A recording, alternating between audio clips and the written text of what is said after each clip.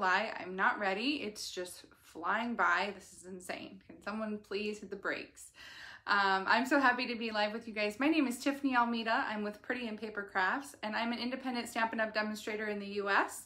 I go live every Sunday for Coffee and a Card, where I show you Stampin' Up! product and I create these super fun projects that you can recreate, and you'll have the tutorials, the project sheet. It's on my blog. I have a blog post for every Sunday that I go live. You guys, it's so much fun. And I have the Whale Done bundle today that you are going to absolutely love.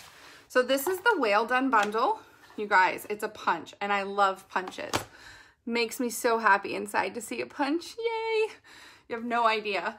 Um, this is a really fun bundle. I love the ocean. I love the water. I love the turtles. Everything about this set is so me. So I'm very excited to show you guys what I created with them. These are the three projects for the Make and Takes Next, The first is this adorable jellyfish card, and I don't know if you can see the texture and of embossing here on this card, but the old world paper embossing folder, doesn't that make it look like a watery scene? Isn't that cool? So this is the old world embossing folder. So now we're gonna do this kind of watery looking card. And like I said, we're gonna be using that old world embossing folder but not yet. We have, I cut out a Stitch So Sweetly die uh, in Whisper White, and we're gonna stamp this jellyfish. We're gonna make a little underwater scene with the jellyfish and some seaweed and some coral. So the colors that I used for this, for the jellyfish, I used Blackberry Bliss, Bumblebee, oh that's dirty, and Pool Party. Now, I didn't just pick these randomly. They were actually in colors that coordinated with the designer series paper. So if you don't know where to start, you can always go look at a designer series paper pack and see what colors are they using together. So I chose colors that were in this suite. So the other colors that I used for the seaweed and the coral are Shaded Spruce and Calypso Coral. Okay. First, we're going to stamp these jellyfish. So I have my baby wipe handy because I've got to clean my, my stamp in between. So pool party jellyfish first. We'll do that here off to the side. There's our pool party one. Then we've got our Blackberry Bliss one. I love colorful jellyfish. I think that's really, really cute. This is um, grid paper that you can order. It's brand new grid paper using, and it features the new in color, um, new in colors. And you can order it right from the um, store.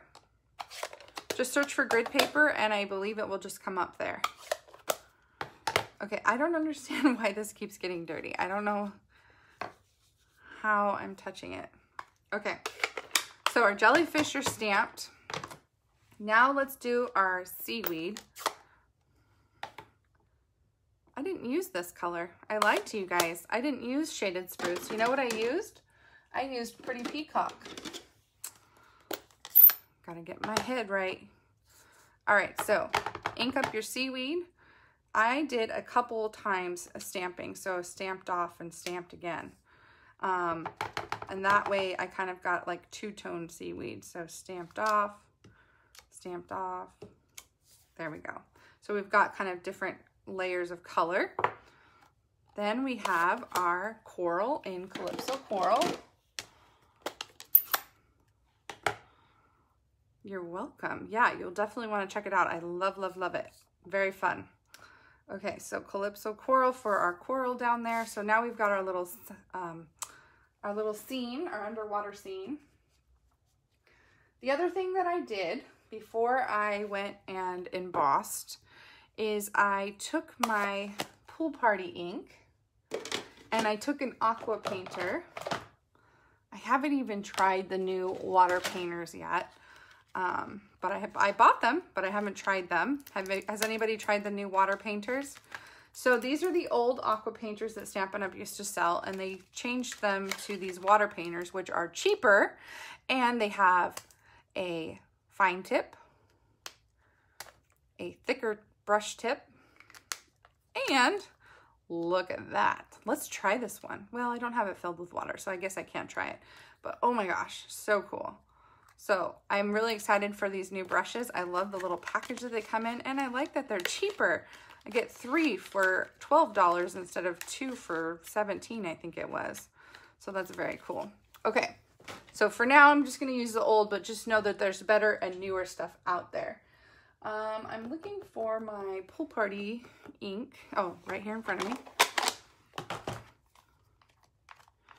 And I'm just squishing my lid so that ink gets here inside my the lid. If you don't like a messy inside lid, which it doesn't bother me whatsoever, but if you don't like that, you can also take a, just a block, and a clear block, and stamp it and get ink on the block and then pick it up from there. Same thing. And the nice thing is you can just wipe the block clean and then you won't have a mess. But this doesn't bother me. Um, so I'm just filled my aqua painter with water.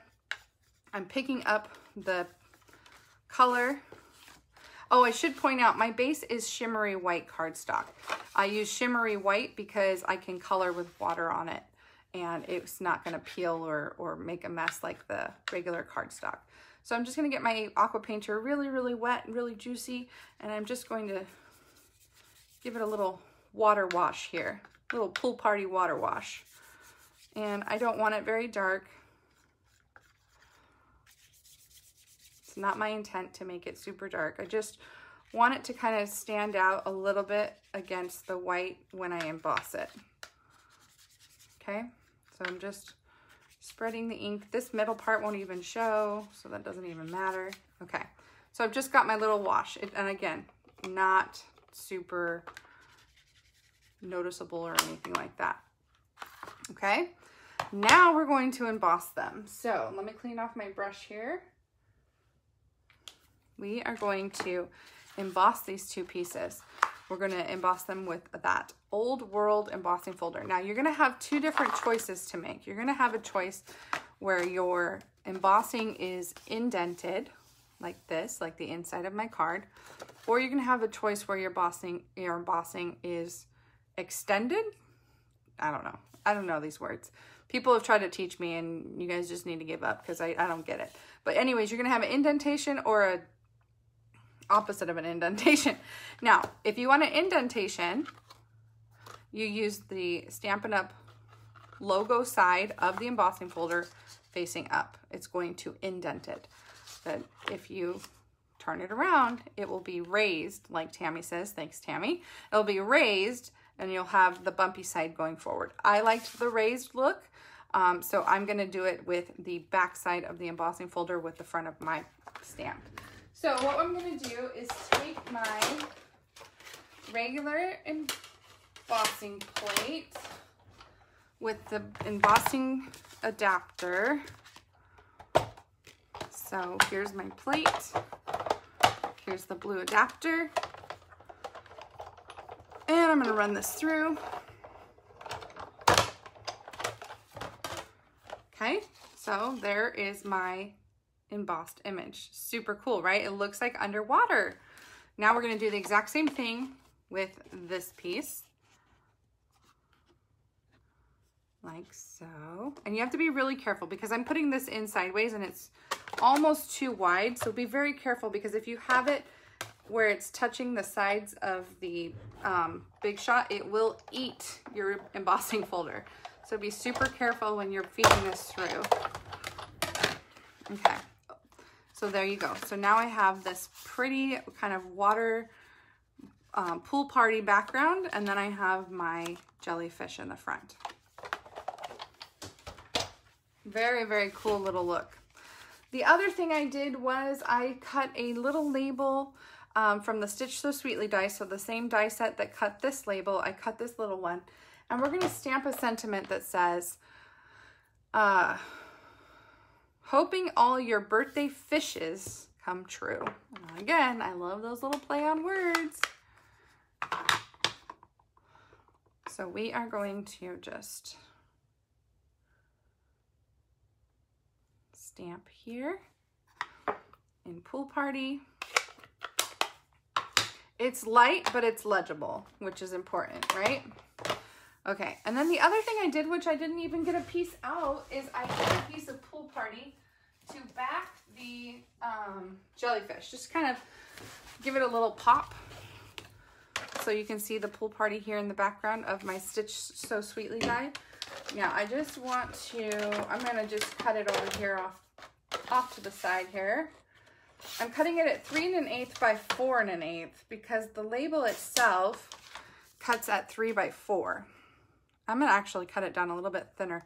So maybe a little less than three. So I'm gonna cut this at three. Three by four and an eighth. There we go, perfect. Just a little thin border, that's all we need. I'm gonna use my seal to glue this on. And then I'm gonna put this on with dimensionals.